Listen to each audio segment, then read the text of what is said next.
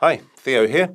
In this video, I'm going to show you how to scrape structured data from Facebook Reels for free using one simple scraper.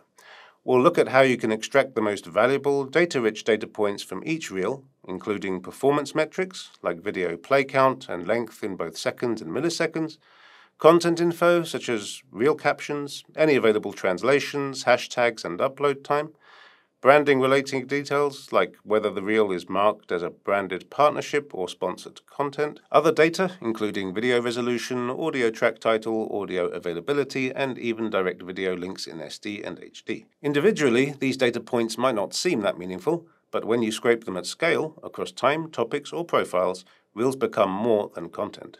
They're intel. Reels can show trends, audience behavior, and content patterns that are otherwise hidden. So, what can you actually do with Facebook Reels data? A few obvious applications are analyzing competitors to see which reels get the most traction, brand monitoring to spot user generated content featuring your brand, researching influences to compare engagement rates and content styles, content marketing to figure out what works and apply it to your own strategy, or just archiving reels you don't want to lose.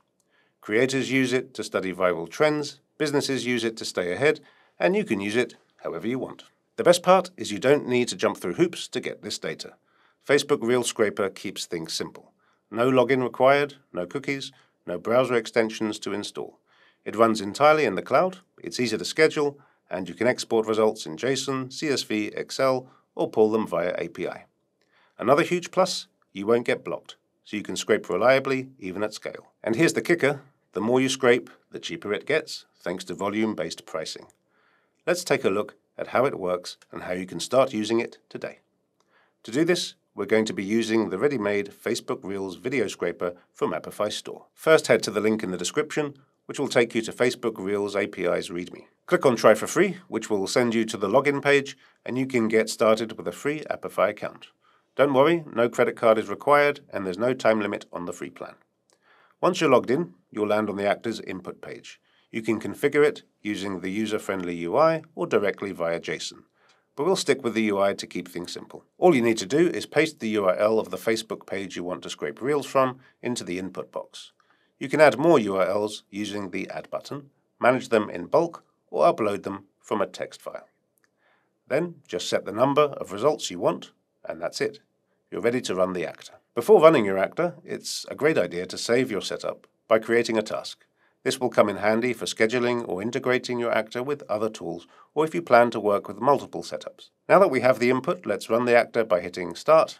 You can watch your results appear in Overview or switch to the Login tab to see more details about the run. Now that your run is finished, you can get the data via the Export button. You can choose your desired format and select which fields you want to include or exclude in your final dataset. Then just hit download and you have your dataset file. Let me show you what this looks like in JSON format. If you want to automate your workflow even further, you can schedule the Facebook Reel Scraper to run at regular intervals. No manual work needed.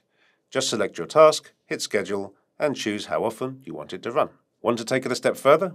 You can integrate the scraper with other tools like Make, Zapier, Google Drive, or even chain it with other Apify actors or agents to build a fully automated pipeline. You can also run this scraper locally via API, basically turning it into your own custom Facebook Reels API. Just open the API tab in the top right corner and you'll find ready-to-use code snippets in Node.js, Python, or even curl. If you're looking to plug the Reel Scraper into an AI agent flow, like with Claude or any tool using APIs, you can run it through an MCP server as well. Want to see how to retrieve data programmatically? We've got a video on that too, link in the description. Need more data from Facebook or Instagram? We've got you covered.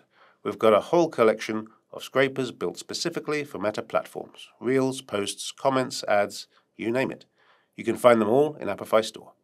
If you're after more video content beyond Facebook Reels, definitely check out our scrapers for Instagram Reels, TikTok, and YouTube. Whether you're tracking trends, saving content, or analyzing engagement, these tools make it way easier. Links are down in the description. Oh, and if you prefer learning by watching rather than reading docs, we've got a full playlist of video tutorials that walk you through scraping Instagram in different ways captions, profiles, hashtags, all of it. Whatever kind of metadata you need, you'll find the right actor for it. And that's all for today. Still think Reels are just for scrolling? Let us know what you think about the Facebook Reel Scraper. And remember, if you come across any issues, make sure to report them to our team in Apify Console. If you found this helpful, give us a thumbs up and subscribe. Don't forget to hit the bell to stay updated on new tutorials. So long, and thanks for all the likes.